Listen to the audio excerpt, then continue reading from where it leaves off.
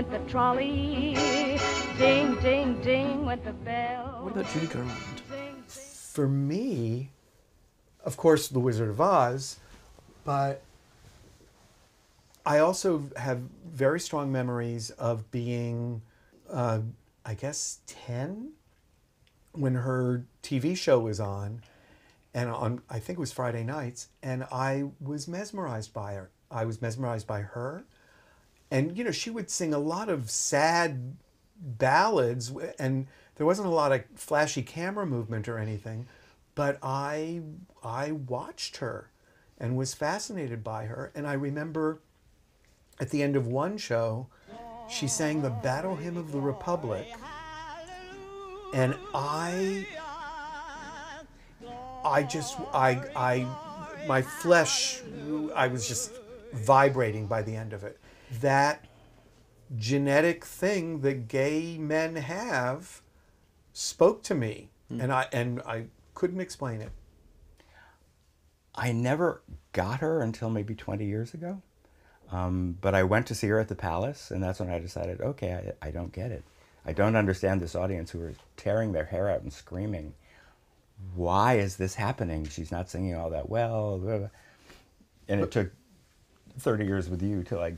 But and let's make it clear, when you saw her it. at the Palace, it was the 1967 comeback that wasn't really. She wasn't in top form. Right. It wasn't the great return. It was. Um, William Goldman talks about it in the season, that she was. It just she wasn't there. It, so, it what you would have gotten it if it had been Judy at the Palace, but it was Judy at the Palace. Mm-hmm. The other. Okay. Diamonds are a girl's best friend. Carol Channing came through in Lorelei. And she was hilarious. I was laughing from start to finish. She was, every bit of business was brilliant. And at the time, I had a really horrible laugh that was kind of a honk. So you couldn't help but notice my laugh if you were paying attention. And at the end of the show, I'm getting up to go, and this woman comes down the aisle and she says, um, Miss Channing would like to meet you. Would you like to come with me? And I said, Sure, absolutely. So I went backstage, and Charles, her husband, was there. And and Carol went, Oh, it's so lovely to meet you. You know, I spotted you almost immediately. You were laughing at everything I said, and it was just a joy. I insist that you come when the next time I have an opening in New York, I insist that you come as my guest on opening night. You'll be fantastic. I would just love it if you were there because you totally understand everything I'm doing. And I said, "Oh, I would love that. I would. Um, it would be great, an, an honor, because I adore you. And you know, I saw Thoroughly Modern Millie a million times, and you're my favorite, and blah blah blah blah blah. And, well, yeah, you know, let me. I have to give you a little something. I only give it to very special people. And she reached in the drawer and she took out a diamond ring and she went, Here's a diamond, so I hope you remember this afternoon for all time. And I said, I absolutely will. Thank you so much. This means so much. And then escorted me out. What I loved when Carol Channing passed away was the number of people that had a personal story of a personal encounter with Carol Channing. And that's because she toured and she was devoted to her fans and devoted to her career. This is a woman that made America her friend. Jerry Lewis. He appeared in Damn Yankees on Broadway, and I then took it out on tour post Broadway. So I became his producer after the fact. I didn't produce the show, but I bought the show and then ran it uh, for Pace. Usually, when you're touring a musical, you'll carry your conductor, lead keyboard, percussion, and maybe one or two other instruments, depending on what the orchestration most needs. Uh, Jerry wanted me to add a clarinet to the mix. And I said, well, that's an odd one. I've never, in all these musicals I've done, here's a list of 70 tours, um, we've never carried a clarinet. And I know it's part of the mix of this particular orchestration, but I don't think of it as primary. And he said, Well, let me show you some videos. And he played me some videos of him eh, doing his act in Las Vegas. And he'd say, Listen, listen to who's supporting me. Listen to who's getting me through that song.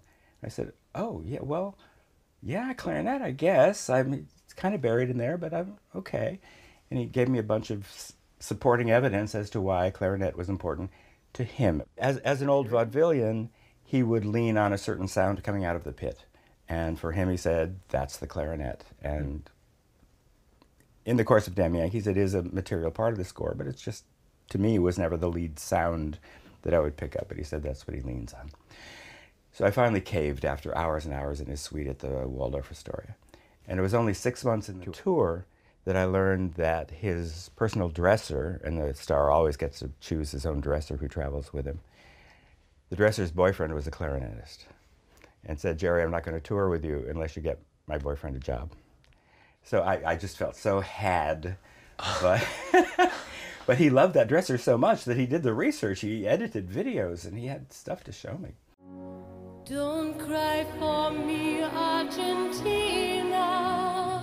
She auditioned for Rock and Roll the first 5,000 years. And we offered her a role. I think it was like to play one and understudy two. And she said, no, no, no, I got, I got bigger plans. Well, now, okay, it, w- but it was Vinnie Liff. She said, I got better, uh, better plans. And Vinnie Liff, who was the casting director, took her out into the alley outside the Belasco Theater and said, I'm, we are offering you the Grace Slick track, the Tina Turner track, and the Bubba Bubba track. And this is a Broadway musical directed, conceived and directed by Joe Layton. This is this is as good as it's going to get. This is thrilling. This is a major major break. And she went, "No, you know, I really I'm going to do my own songs, my own kind of albums and stuff. That's really what I think I want to do. Thanks." Why don't you come in and audition? Yeah, it w- and Wow. she's really good. And then, like a few years later, he, uh, when Like a Virgin had, you know, he went, I wanted her for rock and roll the first 5,000 years. Look what happened to her. I said, sad, isn't it? He went, terrible. she could have been on Broadway. Wow. Why is it always Miss Marmelstein? We had dinner at a table next to her in a restaurant out in the Cotswolds, and it was a, a lovely five star inn.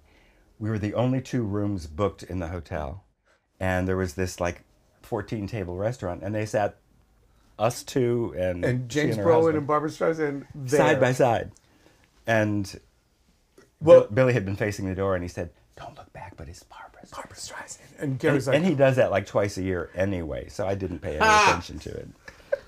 That's funny. Barbra Streisand. Barbra Streisand. And he went, Billy, please, come on. And then he heard her say, Here? Here? Is this where we're going to sit? and, he, and he went, Oh my gosh. She was on the phone most of the time with her broker. with her broker, and, and she, uh, she said, He's going to have a salad. Uh, the the green salad, but with the burger, and she had she ordered for him, and and he just kind of sat there, and she was on the phone with the broker, and we stopped talking because we had to hear everything she had to say, and after about ten minutes or twelve minutes, we both went, okay, we just have to leave because we can't. th- This is stupid. We're not. It's just it's ridiculous. Wow. So that's the only Streisand story we've Yeah, got, but we I like think it. that's it. We like it. Nobody